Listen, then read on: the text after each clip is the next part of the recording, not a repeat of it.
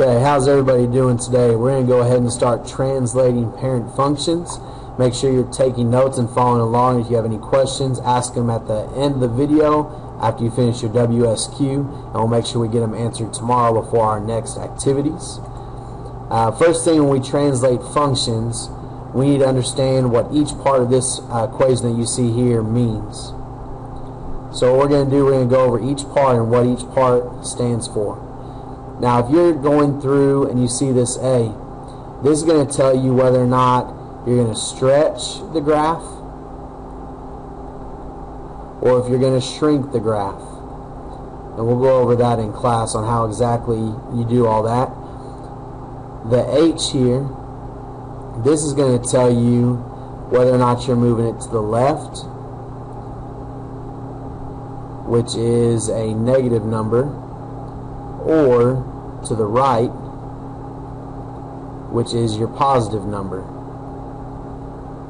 The k on the outside of your equation is going to tell you if you're going down, which is your negatives, or up, which is your positive number.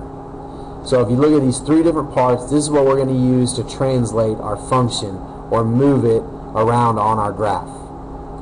So if we look at a quadratic, if we look at a quadratic function, we're going to look at exactly how this thing moves. So let me set this up for you.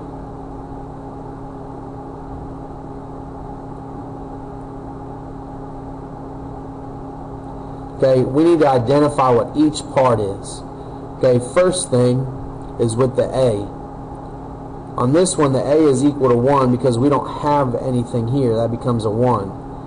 If you have a 1, there is no change to the shape of your graph. Okay, None, it won't get skinnier or wider or anything. There'll be no change to its shape. Your H right here is showing a negative 3. Since this is a negative also in your equation, this is telling you that this is actually inputting a positive 3. Okay, positive 3 means you're going to go to the right three spaces. Okay, and then your K is a positive 1, so you're going to go one space, and since it's positive, you're moving up. So I'm going to do your original parent function on this graph as a quadratic. So let me graph it real quick. You guys will see what I mean as far as our steps.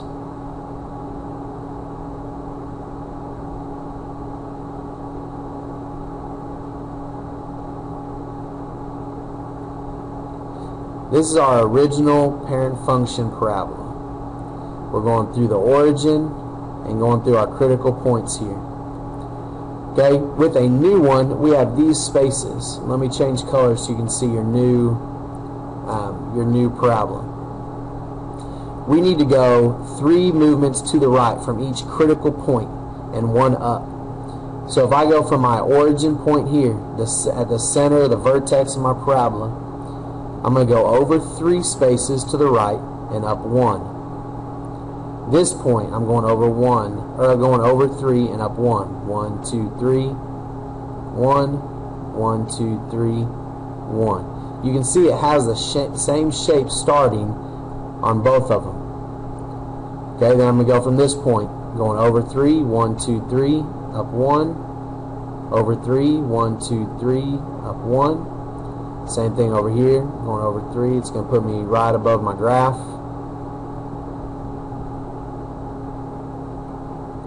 And this is my new parabola on this graph. So I can see that every critical point moved over the same amount. It keeps the same shape. It's going in the same direction. Everything about it stayed the same. And I got all this information from my A, H, and K on my translation formula. Okay, now let's look at absolute value. On absolute value, it's the same idea. Okay, so we have the f of x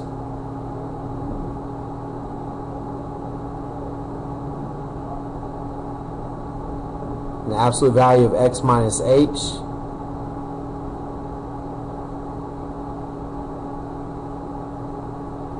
and the pen stopped writing here. Hold on.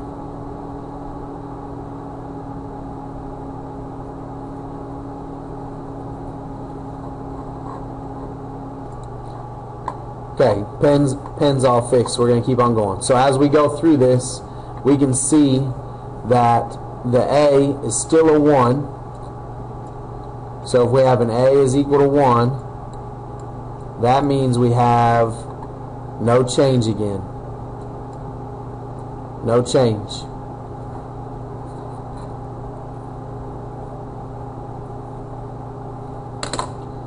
Our H is a negative 1, which is actually a positive, which means we're going to go to the right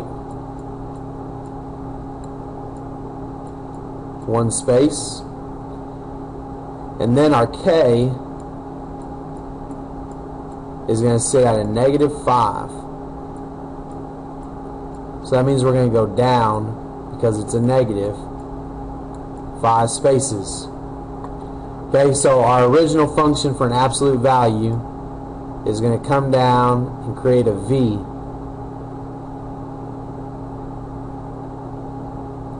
Gotta see it in that direction. Okay, we need to create our new one. We're going to change colors here again. There's no change in our size because there was a 1 in the A position. Your H is a 1 to the right, so we're going to go over 1 to the right for each one, and then down 5. 1, 2, 3, 4, 5. So that's our first point. We had a critical point here. Let's put our other critical point at our 4s. And then uh, we'll go with the 8s here. So I need to go right 1 and down 5 from each point. 1, one, two, three, four, five. Over one, down five.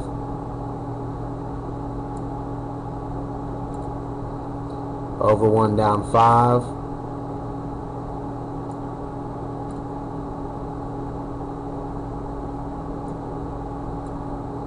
So our new function, or our new picture of our transformation, we'll have our new shape going in this direction. And you can see that the shape hasn't changed, the size hasn't changed, just the positioning on the graph. So that's what we're doing with transformations. Um, when you come into class the next day, we'll go through and we'll go through a few of the transformations and how it works and how it looks. If you guys have any questions, make sure you're asking it. Fill out your WSQ, and we'll go from here. Appreciate it, guys.